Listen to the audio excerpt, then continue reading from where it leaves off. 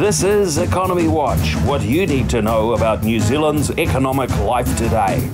Brought to you by interest.co.nz.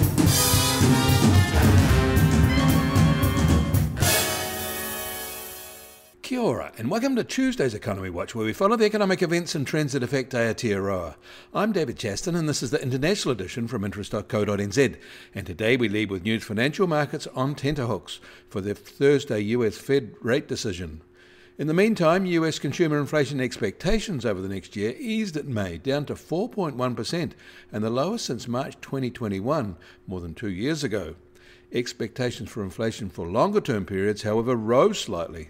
The rises were minor, but represent an upturn from previous surveys.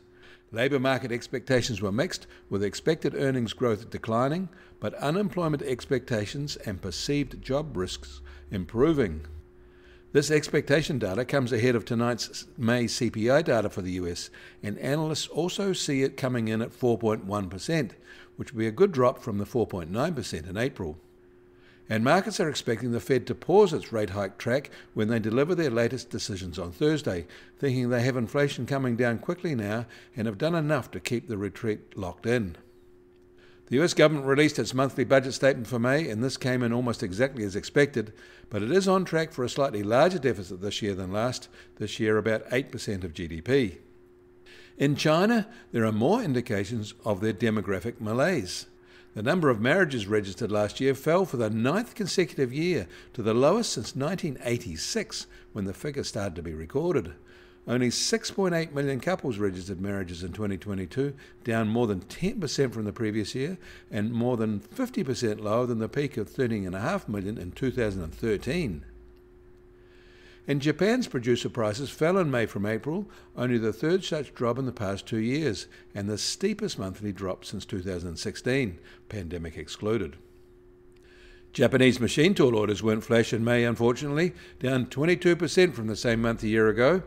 Orders from both local and export sources were equally weak.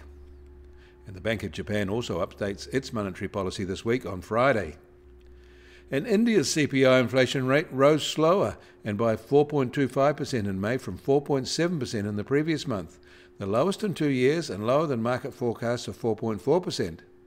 Food prices eased the most, with most key categories falling rather sharply.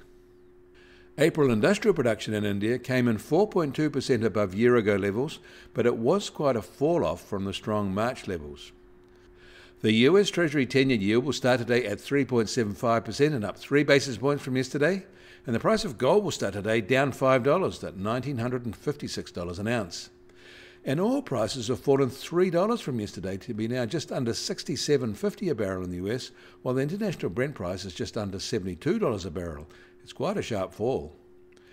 And the Kiwi dollar starts today little changed at 61.2 US cents against the Aussie, we're almost a half a cent lower from yesterday at 90.6 Australian cents. Against the euro was softer, but less so at 56.9 euro cents. That all means our trade weighted index is now at 69.3 and actually little changed.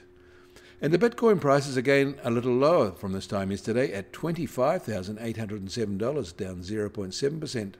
Volatility over the past 24 hours has remained modest at just on plus or minus 1.1. You can find links to the articles mentioned today in our show notes. Get more news affecting the economy in New Zealand from interest.co.nz. Kia ora, I'm David Chaston, and we'll do this again tomorrow.